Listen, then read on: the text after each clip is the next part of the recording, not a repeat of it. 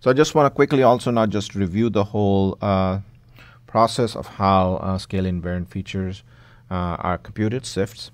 First, we want to find the orientation, compute the best orientation for each key point region.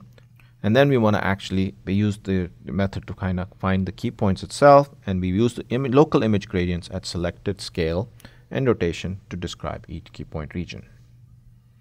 Here's an example of invariant local features. I mean, here are two examples of the same car. So here, for example, this region here uh, is matched to this region here. It's the same car, uh, but of course, we notice this patch is exactly the same, even with orientations and all that kind of stuff. And it finds other regions left the similar. This region here is matched to this. This part here is matched. Well, it's available here, but there's no match here because these two are either too small or not visible.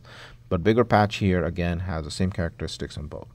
So one of the biggest advantage of SIFT is that basically image content is transformed into local feature coordinates that are invariant to translation, rotation, scale, and other imaging parameters, and therefore allows us to take two pairs of images with similar uh, appearances of objects and stuff like that, and it starts finding the features that it might have seen and do different things, and that allows us to do the matching and that becomes an important part. So let's say I have these two images.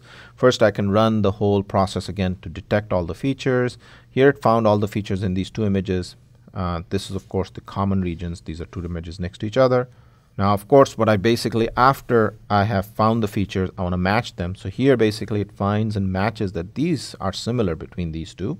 And once I match them, I can also then register them together and if I registered, then I can use that to align the two images together, which I'm not actually showing. I'm just basically showing that these two features are now matched between these two images.